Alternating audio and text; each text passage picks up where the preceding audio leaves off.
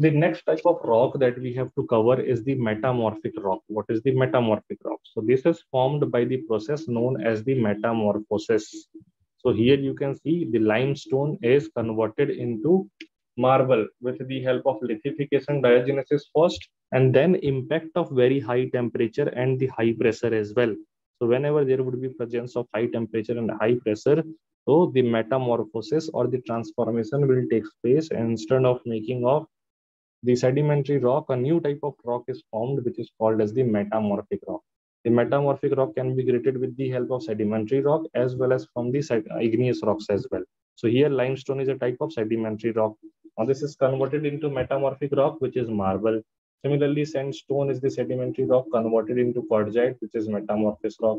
Sand is converted into slate, which is metamorphosis. Conglomerate is converted into gneiss, and granite is also converted into gneiss, which is again a type of metamorphic rocks. So this is the metamorphosis, and these all are the example of the metamorphic rocks. So hope this is clear to you. Remember all the examples. Examples are very important here. Again, I am repeating.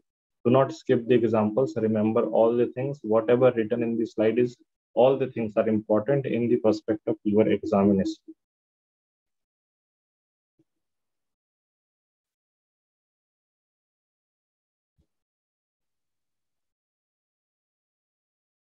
So this is the metamorphic rocks properties. Two properties you can find out in the metamorphic rock. The very first property is called as banding.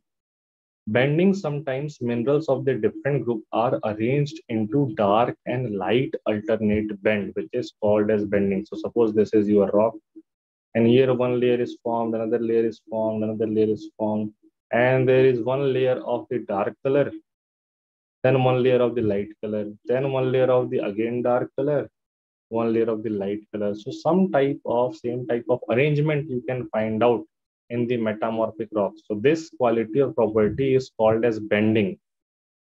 Then we have another property that is lineation. So during metamorphism in some rocks, minerals get arranged in lines or layers. Now here, this is not about the color because of the minerals. The different lines are created one line of this, one line of the another mineral, one line of another mineral, and all will look different. These lines will look different. So this would be called as the lineation property of the metamorphic rock. So this is banding, banding of the dark and light, dark and light type of arrangement. Lineation is the linear formation or arrangement of the different minerals that you can see in the metamorphic rocks. That is lineation. So I hope this is clear to you. These are two are the properties of the metamorphic rocks, banding and lineation.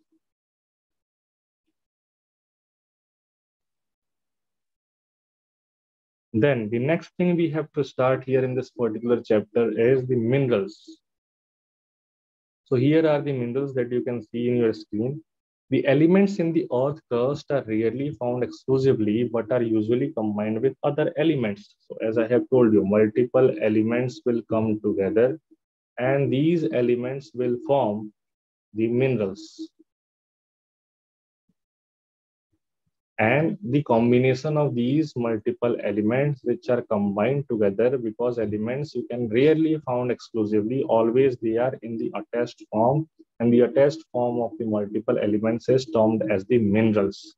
So if you look at the earth composition by weight percentage so this we have already discussed one time in the first unit. Again i am discussing here because this is the very important thing.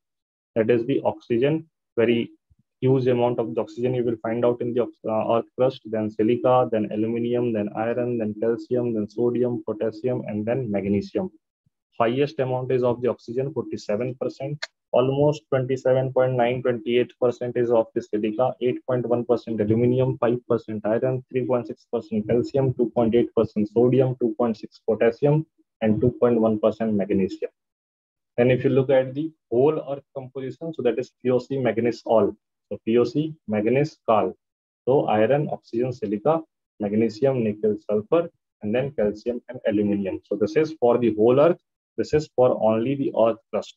So whenever there is an examination, any question you can find out, see the question carefully, whether it is asking about the whole earth or it is asking about only the earth crust.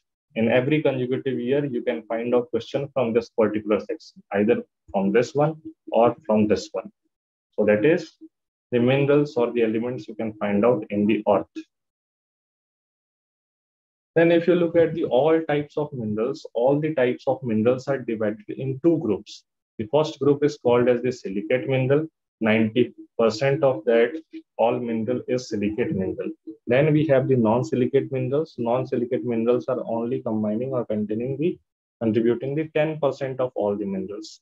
The silicate minerals are the examples you can see here, feldspar, quartz, olivine, pyroxene, amphibole, mica. The first two are the most dominant type of minerals that you can find out in the earth crust. Then next are the olivine and pyroxene and very less amount of amphibole mica you can find out. And these non-silicate minerals are only contributing 10% of all the minerals present in the earth's surface. So these are the hematite, the ore of the iron. Similarly, we have the magnetite. Hematite is FeO, magnetite is Fe2O3. Dolomite, calcium carbonate, and the magnesium carbonate. Galena, galena is the ore of the lead. This is important. So with the help of processing of galena, you can get the lead. And lead is used for the multiple purposes in the industries. So for that, we get the lead from the galena. Then we have cinnabar. Cinnabar is the ore of mercury.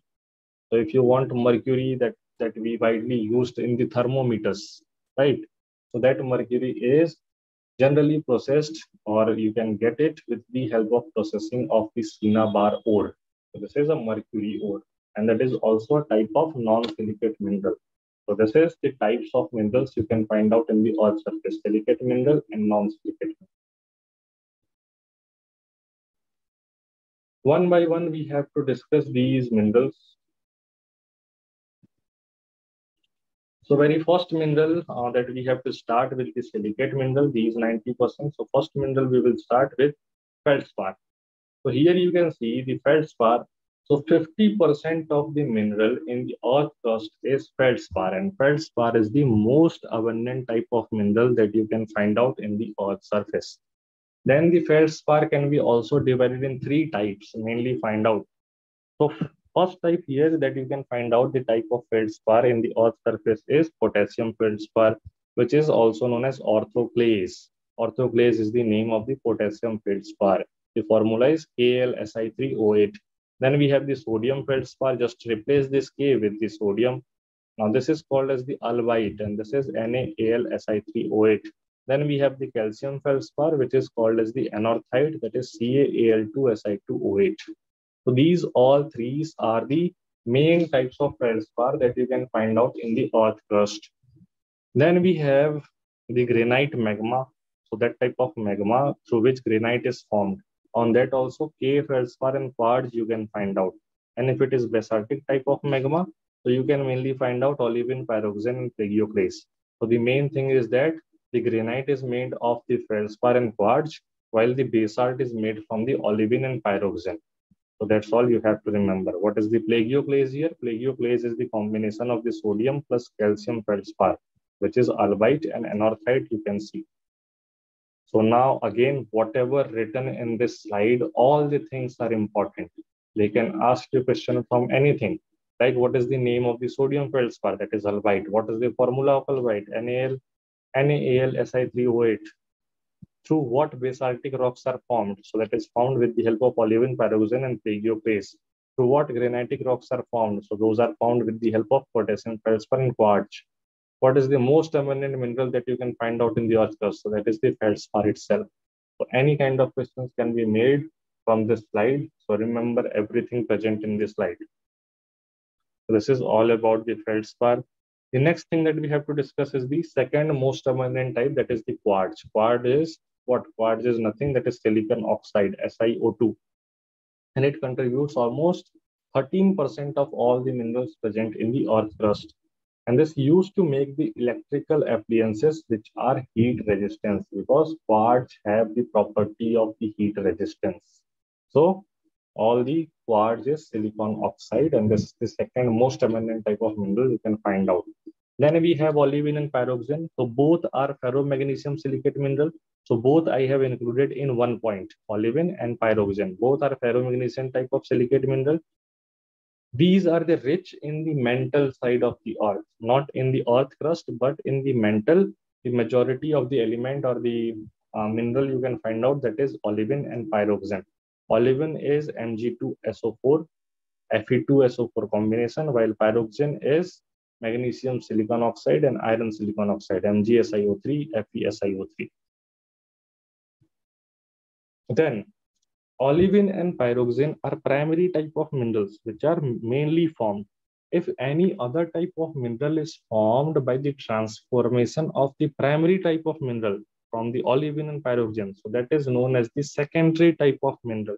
The secondary type of mineral which is formed with the help of olivine that is called as the serpentine.